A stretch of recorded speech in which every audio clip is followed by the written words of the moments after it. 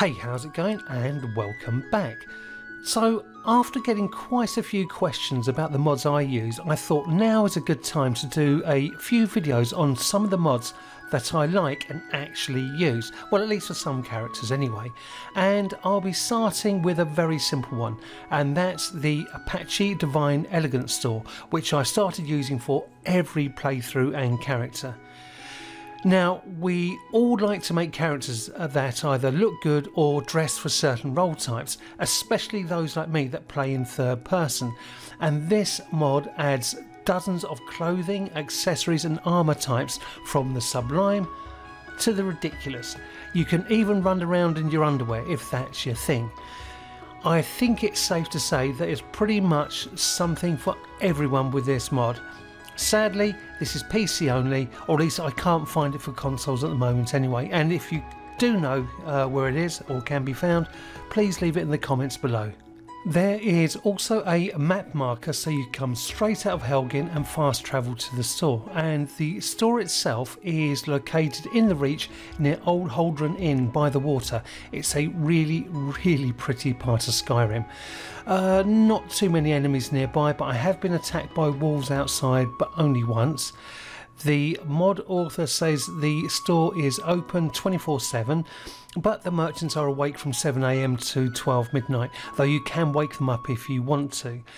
When you enter, you will find three merchants Freya, who buys and sells clothing and has 3,000 gold, Loki, who sells and buys everything and has 5,000 gold, and finally, Saga, who sells and buys armour and weapons and again has 5,000 gold.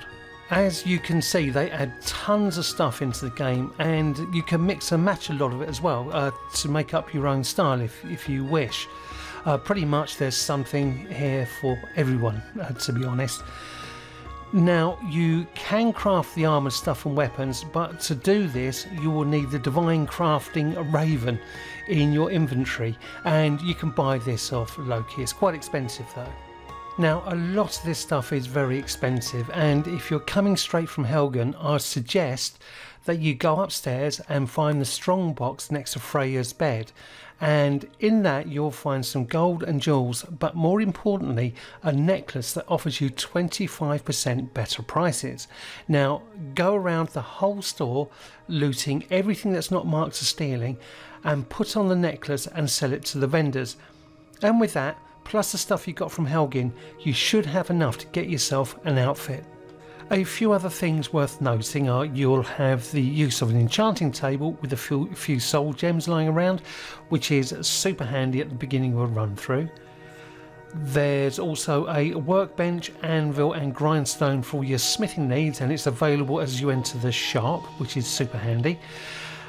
Out the back, there's an alchemy table with a satchel and a barrel with a few ingredients on it, um, though I'll definitely check out the barrel before storing anything in it. You'll also have the use of a bed. Now, as this is not a home or an inn bed, you'll only get the rested bonus, not the well rested.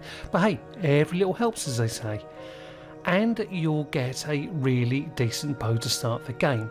It seems to have the same effect as all other silver weapons against the undead. It's not too OP, so there's no real reason not to use it in my opinion. And I put some stuff in the chest and left the area for over 12 days, and it was still there when I got back. So it's good to store stuff, well, for at least that amount of time anyway. And I'm going to assume the weapon racks and uh, alchemy satchel are safe also. But I do recommend you check them yourself by dropping stuff in them, leaving the area, and using the wait key before trusting rare or valuable items to them. And that's pretty much it. Not only is it a great place to get outfitted, but you can use it as a fully fledged starter place until you get a proper home.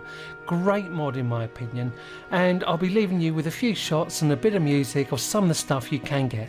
Enjoy, and remember, I love you.